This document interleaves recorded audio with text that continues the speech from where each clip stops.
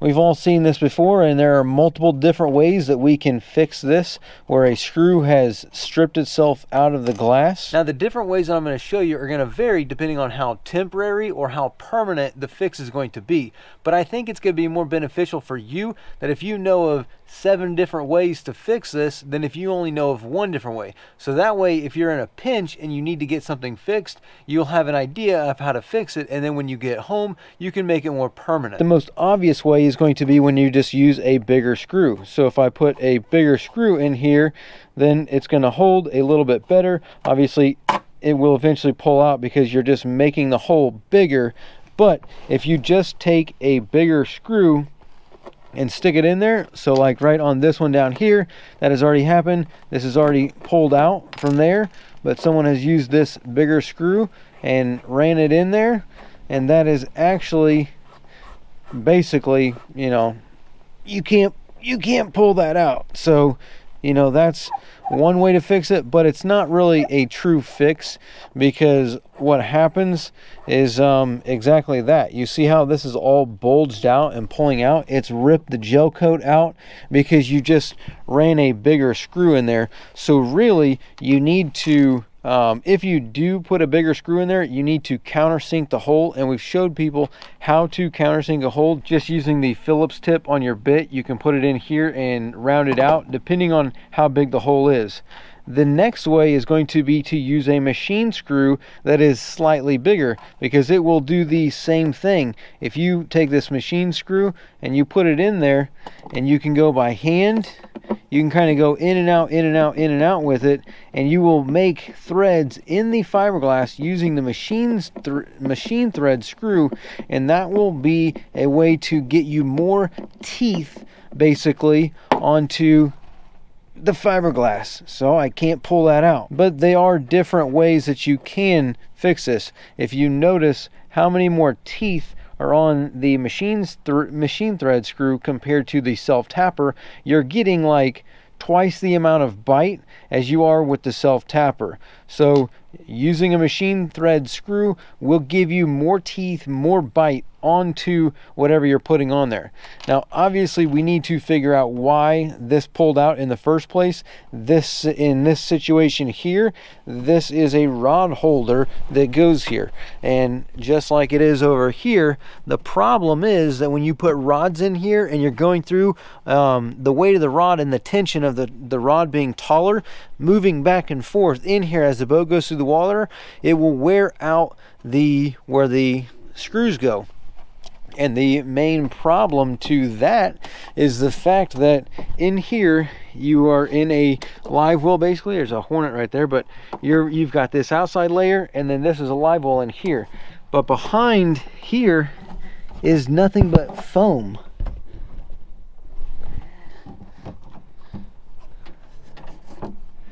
So in on the other side of this, we don't have anything but foam back here. There is no access to where that screw is.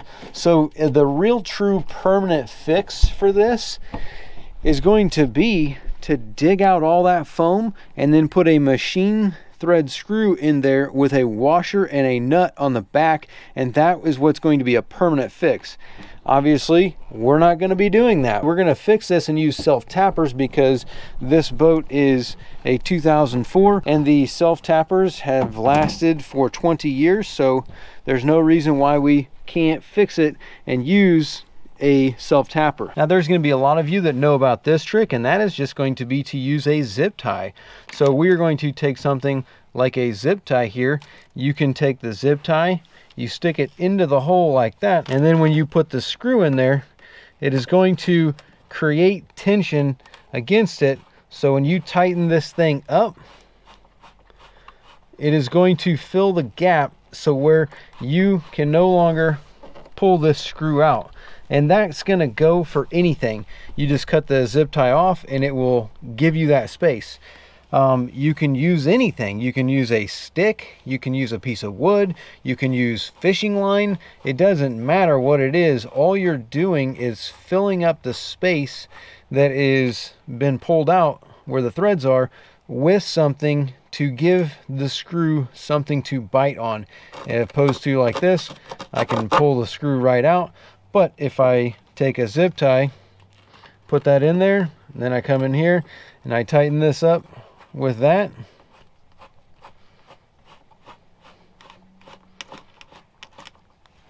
I can't pull the screw out now. So that is going to be one way that you can fix this. Again, cheap, it's temporary, but it is a way to fix stuff, especially when you don't have access to something. Putting something like a zip tie, a stick, piece of wood in there is going to allow you to fix that or at least get a screw to bite and hold what it is that you need it to hold. And those are going to be some temporary fixes or even just a bigger screw is kind of a permanent fix. But if you want to truly fix it, depending on how bad it is, now we're going to have to use something else. We're going to have to fill this hole up and re-drill it. So let's go and see what we've got in order to fill this hole with. Now, in order to fill the hole, we're going to need to take a drill bit and we're going to clean the hole out. Once we drill out the hole, we're going to spray it out with something like contact cleaner to get any kind of dirt, any kind of grease, anything that could be in the hole, any old sealant, we need to get that out of the hole. And then we're going to have different options. We have, you know, five minute adhesive, which is a less permanent. It is less as it doesn't have as much strength as an epoxy resin does. So we can either do an epoxy resin, this takes longer, this is quicker. We will need a little cup like this.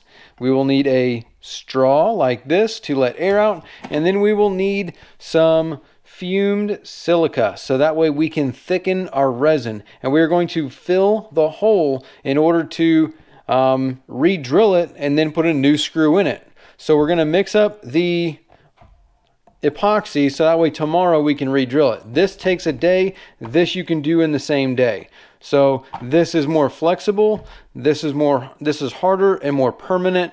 So again, depending on your situation, you could also use something like TotalBoat. Total Boat has the same type. They have like a four minute one. I don't have any on hand. This is just what I have to show you what we're gonna do to fix this. So let me go out there and we will do the fix the hole first, clean the hole out. So then we can come mix it, fill it, and I'll show you how to fill it.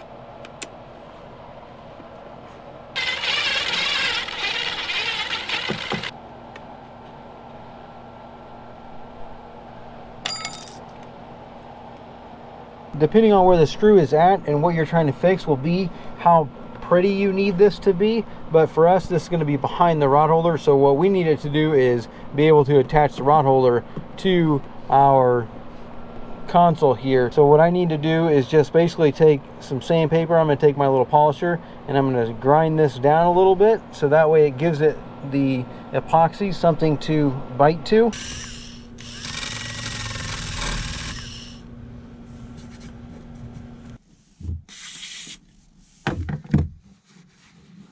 Okay, now we are ready to mix up our epoxy. This uh, contact cleaner is going to dry.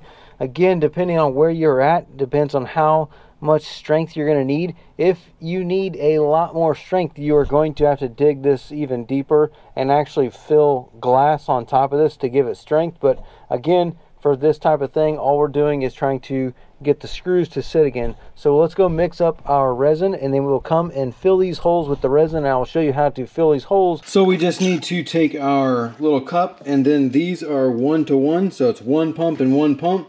And then we're gonna add our silica in there. So for this right here, all we need to do is just come over here, get one pump. Then we're gonna get one pump.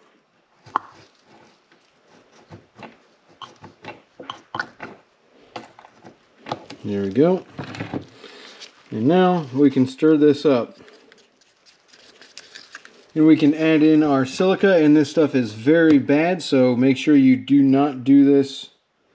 You do, want to, do not want to breathe this stuff in so be very careful when you're messing with silica.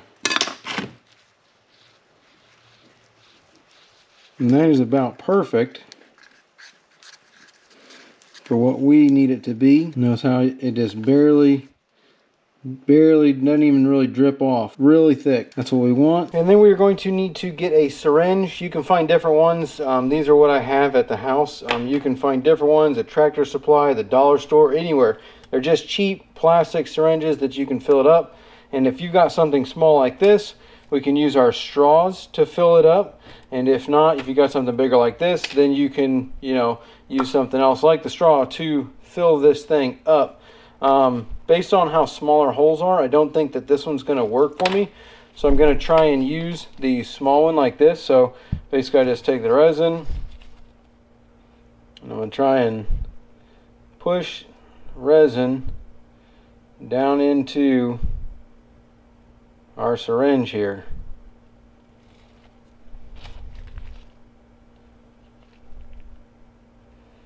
So just taking their straw putting it right there, moving the stuff over, trying to push it down. Obviously a bigger syringe is better, but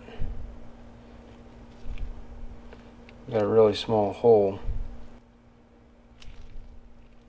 Now we could take this and go and squirt it into the hole because um, I don't think this is going to work. I might, this is going to be my backup, but again, this ruins the syringe, so these are the only two I got to try with. Now if you are on a flat surface, you can mix it up a little runnier and it will fill up the hole a lot easier than on a vertical surface. But for us, we are on a vertical surface, so we need it to be a little bit thicker.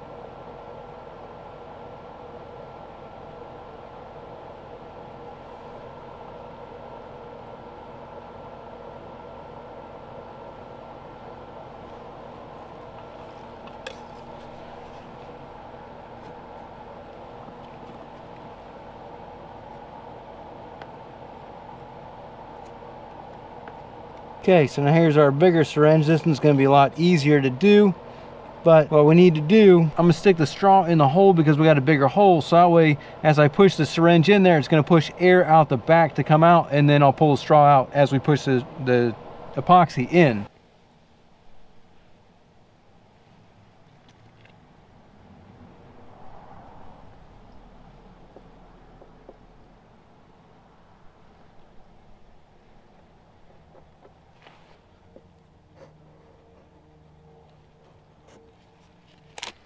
Now we can go ahead and take our tape off. Now just make sure that you get any kind of excess epoxy or sealant off of around the area. Um, again, these are these little holes are super hard to do because of that that problem, especially when there is foam behind it because you need to get the air out as you put the epoxy in. But that is how you're going to be able to fill those holes. Now we can come back tomorrow after this dries and we will be able to kind of sand this down a little bit if it bubbles like that one's bubbling a little bit. But we can sand it down a little bit, drill it, and be able to put our screws in there to get our rod holders mounted back to the console.